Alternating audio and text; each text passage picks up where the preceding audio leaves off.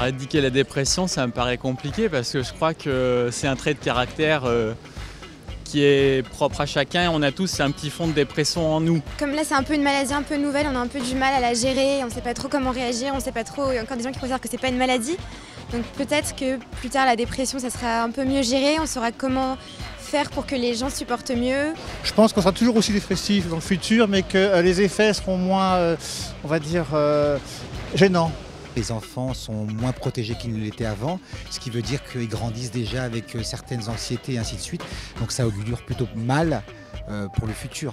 Vu euh, à quel rythme on vit, ce qui se passe dans le monde, dans quelques années, tout le monde sera dépressif. Il y aura une dépression généralisée parce que bah, voilà, la société est anxiogène et elle le sera malheureusement de plus en plus. Ça me paraît très utopique.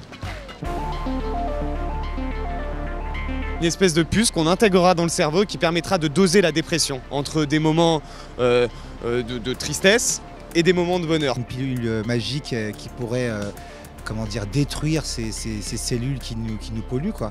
Genre une puce qu'on met dans le cerveau et qui nous dit euh, je vais bien, euh, voilà, en se levant du lit. Ouais, bah alors on serait des robots. Donc euh, du coup, euh, on nous mettrait une puce, sois heureux et puis tais-toi quoi. Non, je pense pas. Bah, ce serait qu'il y a des avions qui montent en l'air là et qui nous balancent des, des billets de 500 tous les deux jours et qui se disent d'aller faire du shopping. Travailler sur soi, euh, travailler sur son corps, euh, travailler sur son alimentation. euh.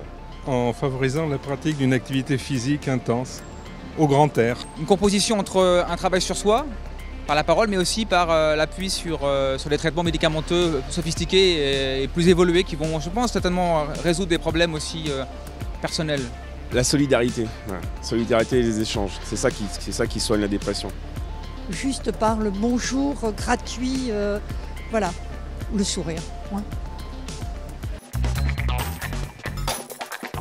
Comme tout médicament au départ, je pense qu'au début il est réservé à une certaine élite ou à un certain public aver- averti, puis progressivement il devient, euh, si en tout cas la société le souhaite, il devient accessible et euh, plus disponible pour le commun des mortels. Plus il est cher, plus il y aura de dépression. Euh, moins il est cher, plus il y aura de dépression également. Donc dans les deux cas, de toute manière, ça ne résoudra pas le problème.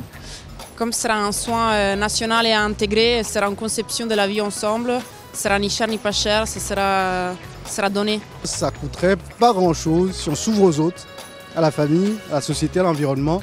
Pour les dix premières années, non, parce qu'une compagnie pharmaceutique a le brevet pour 10 ans. Donc euh, un jour il le saura, mais au départ il ne le saura pas. Ce serait accessible à tous pour pouvoir enrayer ce problème de dépression.